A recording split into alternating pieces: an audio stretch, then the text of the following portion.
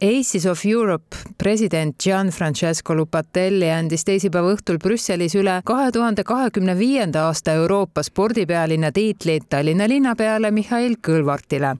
So for Tallinn is very important uh, to have green mindset and strong body for the 2025. Euroopa spordipealinna tiitli saab endale linn, kes paistab silma spordikorralduses ja väärib sellega ka üle-euroopalist esiletõstmist. You did a great job uh, and you can use the title to celebrate one year. With, uh, you can do all kinds of events for, for elite sports, but especially, of course, sports for all, for, for, for health, for, for everybody. And after COVID, everybody knows health is so important and you need a healthy lifestyle and a healthy lifestyle through sports.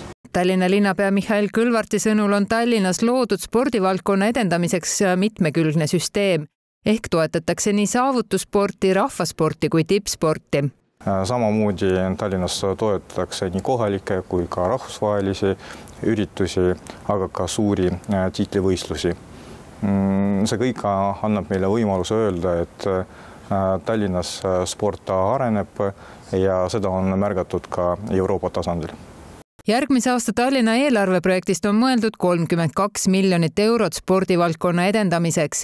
spordipealinnaks valmistumisega samal ajal kerkivad ka uued spordiobjektid. järgmisel aastal saab valmis Tallinna spordihalli rekonstrueerimine, jätkatakse Kadrioru staadioni korrastamisega, aga samas luuakse ka uusi spordiobjekte linnaosadesse spordipealinna tiitel annab meile võimaluse rohkem rääkida spordist, rohkem sporti propageerida, korraldada rohkem erinevaid üritusi, mis on spordiga ühel või teisel moel seotud, need ei pea olema ainult tingimata igasugused võistlused, vaid saavad olla ka konverentsid, saavad olla ka ajurünnakud Brüsselis kohtuti ka sealse abilinnapeaga, kelle sõnul on Brüsselis rohkem kui kakssada viiskümmend erinevat spordiklubi. Cycling is important in Belgium, that's why we are working now on uh, cycling clubs to bring more people uh, on the bicycle because it's important for sport, but it's important also for the environment Euroopa spordipealinna tiitel paneb ehk ka tallinlasi endid rohkem liikuma. kui praegu liigub sportlikult keskmiselt üle poole linlastest, siis linna eesmärk on, et aastaks kaks tuhat kolmkümmend viis võiks see arv tõusta kuuekümne viie protsendini tuhande üheksasaja kuuekümne teisel aastal Nõmmele ehitatud Mustamäe suusahüppetorni tuleviku osas ollakse plaanidega jõutud järgmisesse punkti. projektiga liigutakse edasi kahes etapis, millest esimene ehk eelmise aasta Nõmme linnaosa kaasava eelarve võiduidee näeb ette suure hüppemäe rekonstrueerimist ning sellele vaateplatvormi ja lifti lisamist mul on ikkagi hea meel ainult, ega siin muud ei saagi öelda, et selline asi on ette võetud. mina isiklikult olen selle poolt ja, ja tahaks sest praegult ma ei julge sinna minna torni. aga kui see tehakse korda, siis ma julgen jälle sinna minna turistina. meie omalt poolt siis äh, anname ka oma panuse, et ta tuleks nagu kõigile siia, et ta ei tuleks ainult sportlastele, vaid ta tuleb ka kogu, ütleme siis linnaosale ja ka linnale kasuks, et, et see on nagu see mõte praeguseks on valminud hüppemäe geoalus, ehitise ekspertiis ning geoloogiline uuring nõlva ülemisele osale. Nende arvutuste kohaselt on võimalik olemasolevatele K viiskümmend hüppemäe postidele vaateplatvorm ja lift ehitada. teine etapp hõlmab väiksemaid hüppemägesid ning kinnistu terviklikku lahendust, mis tagaks ala parema kasutamise ja efektiivsema hooldamise. ikkagi eesmärk pigem ongi muuta asju kaasaegseks, teha neid hästi inimestele kättesaadavaks, mugavaks kasutada, turvaliseks kasutada, mis võib-olla on isegi võib-olla üks esimesi eesmärke. kui me räägime trennidest, siis regulaarselt nüüd talveperioodil meil on vist juba viimane vist, mis oli seal umbes circa kakssada kolmkümmend pluss something last täiskasvanud, kes käivad kaks-kolm korda nädalas regulaarselt. kavas on teha koostööd ka Eesti Kunstiakadeemiaga ja kaasata tudengid, et saada laiemat sisendit, kuidas võiks üldse hüppetornide ala terviklikult lahendatud olla. Et nad natukene visioneeriksid seda ala üldiselt, sellepärast et meil on siin ka väga selgelt probleemid eh, ligipääsetavusega just nii-öelda autotranspordi võtmes. ideid on väga palju, neid tuleb väga mitmes võtmes eh, veel kohalike elanike ja erinevate ametitega arutada, et nüüd praegu öelda, et kaks tuhat kakskümmend viis on see suur hüppemägi valmis, saab liftiga sinna üles sõita, lisaks spordi tegemisele ka vaadata, nii-öelda nautida vaadet Tallinna lahele, et seda lubada täna ei saa. noh, meie omalt poolt siis teeme nii palju, kui me suudame. Aitame kaasa oma, oma olemusega, oma mõtetega. Ja noh, võtab palju võtab, ta võib võtta kaks aastat, ta võib võtta ka kümme aastat, et aga oleme selleks valmis alati. Psühholoogilise erivajadusega inimesed on ettearvamatud, lärmakad, nendega on ebamugav suhelda ja nii edasi. sellised valearusaamad on Eesti inimeste seas iga aastaga aina vähemaks jäämas, kinnitab värske Norstati uuring. kuid pikk tee on veel minna näiteks endiselt ligi kolmandik eestlastest leiab, et psüühilise erivajadusega inimene võib tema jaoks osutuda ikkagi ohtlikuks. no kui psüühilise erivajadusega inimestest räägitakse, siis ähm siis inimestel kangastuvad ette filmid, mis on, on tehtud siis psühhoneuroloogia haiglates ja, ja need on ju teada, et, et nad müüksid ja haaraksid, on igale poole kõvasti vinti peale keeratud ja ja kahjuks see tekitab inimestes sellise pildi. Eesti elanikkonnast neli protsenti ehk viiskümmend viis tuhat inimest on kroonilise psühholoogilise erivajadusega, kuid neid, kelle puhul on hinnatud, et haiguse või puude ägenemisel võib esineda ohtlikku käitumist, olevat imevähe. Neid inimesi on äh, väga vähe, neid on alla viiekümne ja selleks on olemas ka Eestis siis spetsiaalsed äh, eraldi teenuse pakkumise kohad, kus, kus on inimesed, kes vajavad suuremat toetust. tegelikkus on see, et psüühilise erivajadusega inimene tavaliselt, äh, me ei saagi aru,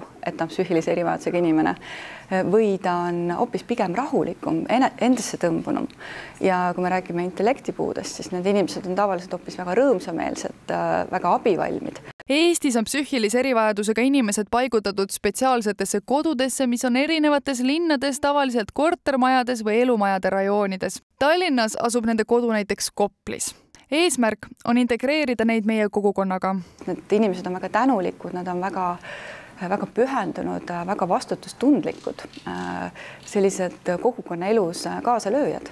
meie seas elavate psüühilise erivajadusega inimeste lugudega saab tutvuda lähemalt fotograafis ka näitusel Eriline on tavaline. näitus on avatud kahekümnenda novembrini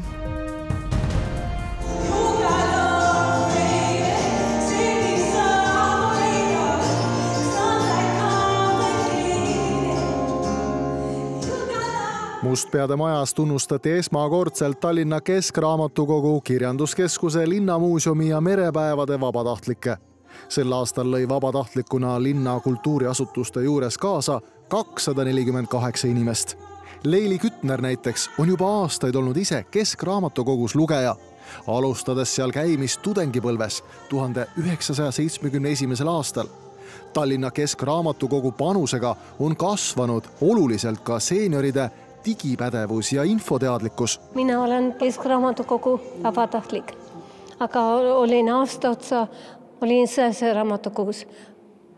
kuna tütar on päris raamatukogu töötaja, mina olen niimoodi abiks ja tema on minu abiks meie muuseumites, meie raamatukogudes on ligi kakssada viiskümmend inimest, kes äh, tegelikult äh, teevad seda, seda tööd, andes oma tegelikult kõige olulisemat asja, oma vaba aega, sellepärast et äh, meie muuseumites ja, ja, ja raamatukogus oleks täpselt nii hea, nagu on siiani on Tallinna erinevad raamatukogud ja muuseumid tänanud vabatahtlikke oma majas vaikselt. nüüd aga otsustati enamus kokku kutsuda ja teha kõigile sügav kummardus tehtud töö eest kontsert õhtusöögiga. eluaeg on saksa keele õpetaja, noortega olen töötanud nelikümmend aastat vist ja nii. nii et äh, tütrel on siis saksa keel suus? oi, üldse mitte. Et ei olnud koolis võimalust seda õppida. Jah, et raamatukogutöös nüüd olen, mina olen siis viis aastat Tallinna Keskraamatukogus töötanud, aga miks ma siin täna olen, siis ma tegelikult olen tegelenud raamatukogus ka vabatahtliku töö koordineerimisega. Sääse raamatukogus siis selle aasta väga intensiivselt erinevate vabatahtlikega kokku puutunud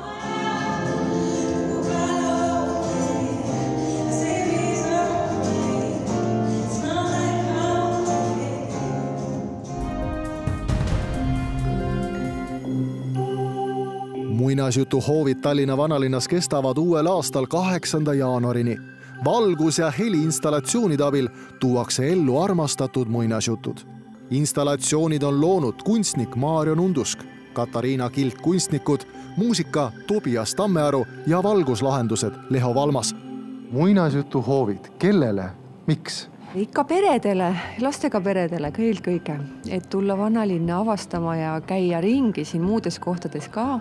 muidugi, kui jõulu, jõulukuusk on vaadatud ja see ilu siin Raekoja platsil vaadatud, siis astuda natukene siit kõrvale ka.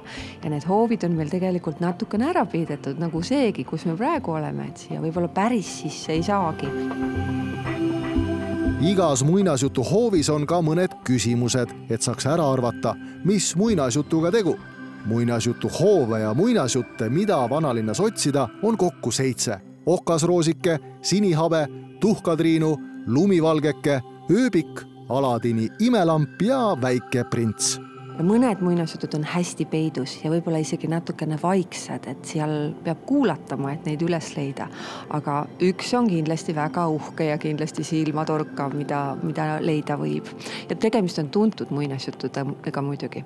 ja meie enda tegijate mõte, kui me seda tegime koostöös kunstnik Maarjo Nunduskiga ja Tobias Tammearuga, kes siis heli tegi meile siia nende installatsioonide juurde. seal muidugi just nimelt tasub ka kuulatada, et natuke võib vist ära vihjata, et siin on okasroosikesega tegemist, et kui hästi kuulata, siis on okasroosikese norskamist ka kuulata. ja et õhtul mindaks koju, võib-olla otsitakse mõni oma lemmikmuinasjutt ülesse või needsamad, mida siin hoovides leitakse ja koos loetakse ja avastatakse neid vanu lugusid, et see on meie mõte